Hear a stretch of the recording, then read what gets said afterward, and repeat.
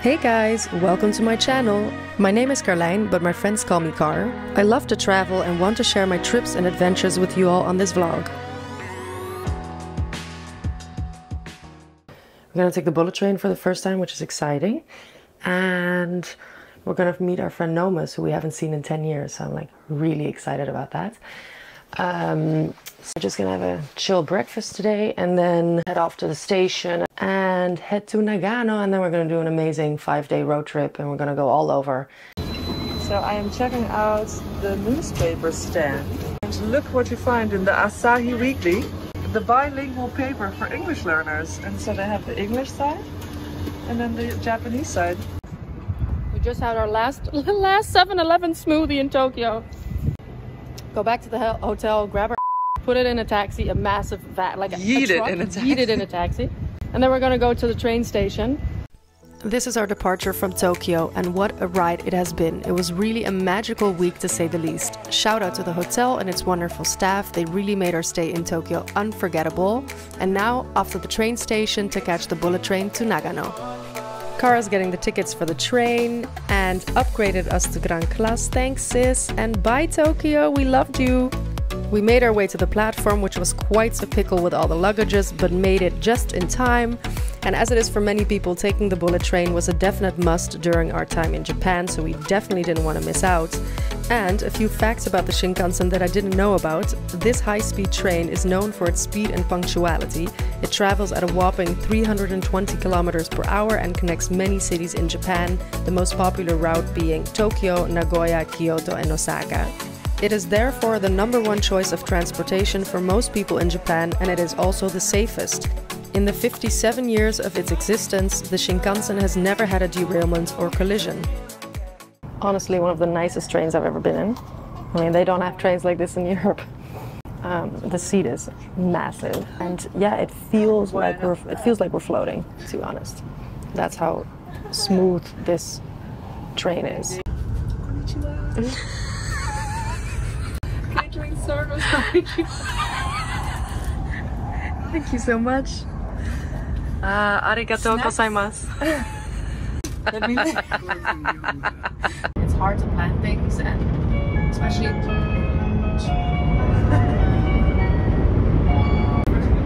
no because you have to I haven't finished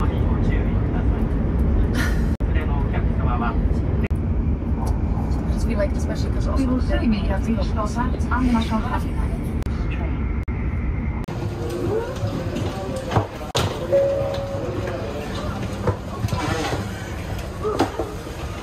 Carlijn fell out of the Shinkansen.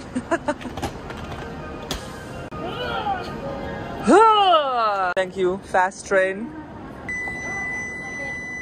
Bye bye.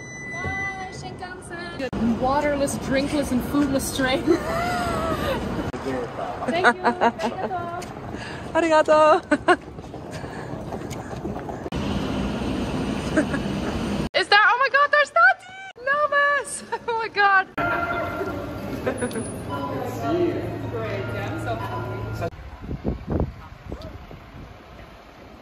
We are now in Karuizawa. There is some memorabilia. Look at that. 98 Olympics. Let me just catch up with my group.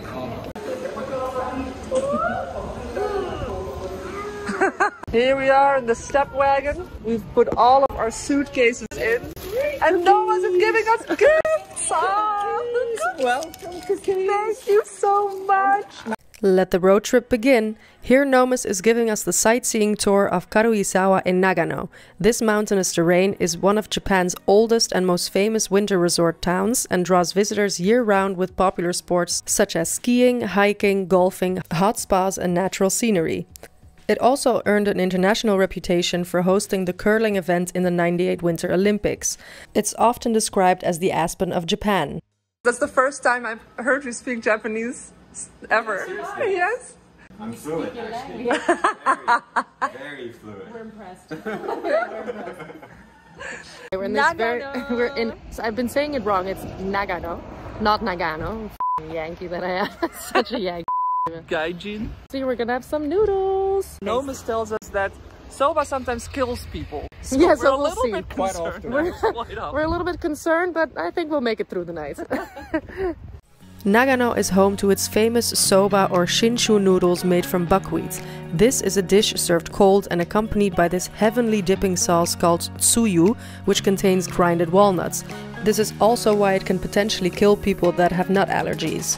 After you finish eating the noodles, you mix the boiled water in which the soba were cooked and the leftover dipping sauce into a soup and drink it. So we just had noodles, uh, soba noodles, cold ones, which apparently is uh, is a thing to do here in Nagano.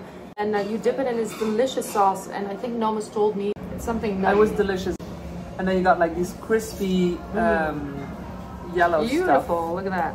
I think it's actually uh, tempura shards of some sort. That's what it looks like. The word shard. Shards. Shards. And then there was this little tea, which I wasn't very fond No, of, to be honest. I like- think this is a soba tea, but it it's, It's not smells that. like nuts. It smells It's very nutty. it smells like these nuts. Yeah, it smells like weird nuts. I really don't like it. The first night of our road trip, we slept in a smoker's business hotel in Nagano. Who knew those even still existed?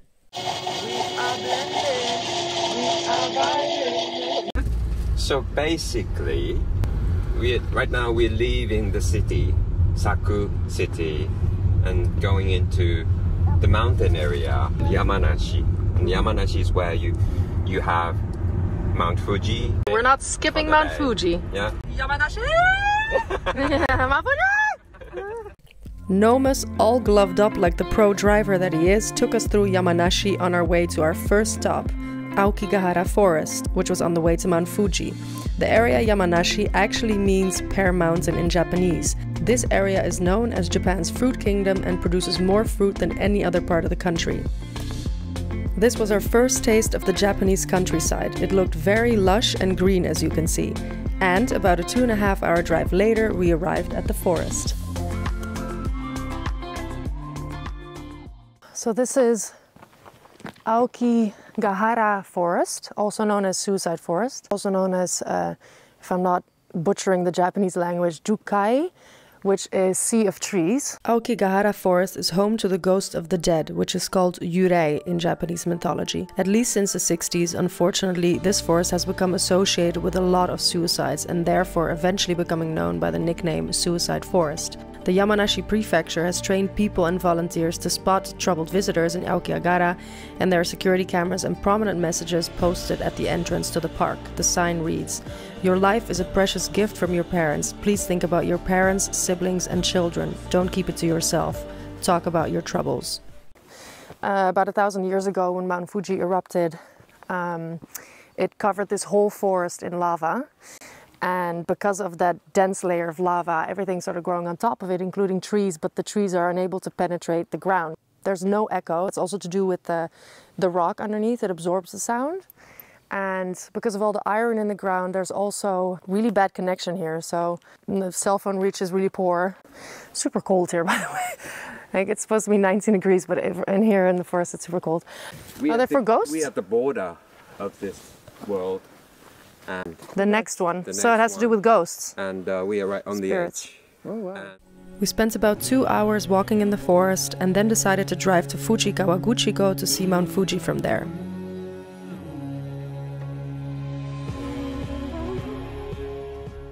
Right, well, this is one shrine to see Mount Fuji from, but she's a little timid today. All right, we're 20 kilometers from Mount Fuji, and we drove a long way to see her, but she's hiding behind clouds. So we're just gonna wait a little bit and see if it opens up, and if we get to see her. And uh, yeah, wish us luck. there she is! Woohoo! The old lady showed herself. Thank you! Thank you, Japan. You pulled through. But we only see the tip.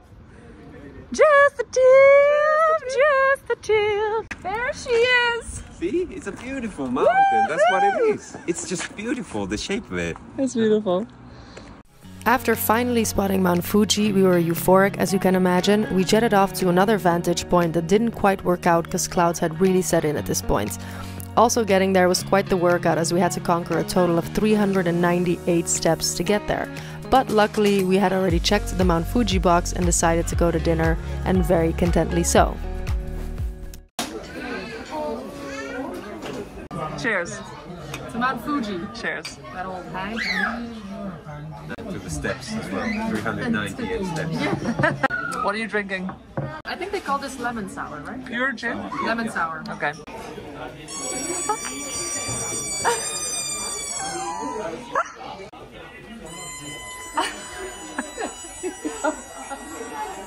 After our lovely dinner, we ran into some issues because we didn't book any hotels during our road trip, and everything seemed to be fully booked in the neighborhood and around. あ、無理ですかもう埋まってます。あ、わかりました。ありがとうございます。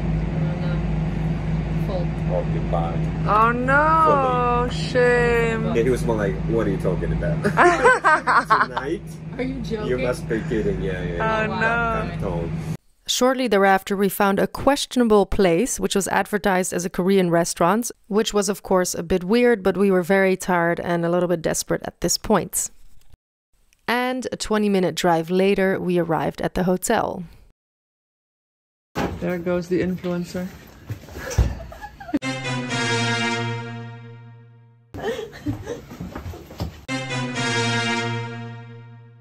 So, as you can tell, nobody was amused at this point. I was in a horrible mood and she wasn't happy either. Uh, the hotel was even quite expensive, and walking into the place, it also smelled like gas, which was concerning. Well, our uh, road trip has taken a turn for the, the worst. worst. We have arrived in what can only be described as a one star hole. so, uh, yeah, what can I say? You, sad. Anyway, so we pushed these beds together, So we got the grand suite. basically. But, uh, Should we have offered them this room? Then we just waltzed in here like put down like okay home. Push those beds together. We're not gonna get into it. Is it breakfast included? No. Seriously? There's no breakfast. It's like trying to escape. no, it's already got the keys. Like let's get the f- out of here. Anyways, any final words? Uh, well, the bed looks alright. and Yeah. It's, it's, it looks okay. It's humble It's humble. and humble. it's It's a. Korean hotel. Yeah, well, it Now it's official, yeah, she looked well Korean. well Korean. The way she spoke as well. No? yeah, do, yeah, I don't I'm know. not I'm not saying it's a bad thing, but yeah, uh, oh, I wouldn't was even know obvious. now. no, she looks well obvious. Korean. I love that. But it's not that bad. Only to show you how thin this mattress actually is. You can actually push it flatter to like not even half a centimeter thick. Look at that. So thin, Karin. no. Was dat een hier, Jen? Een echte?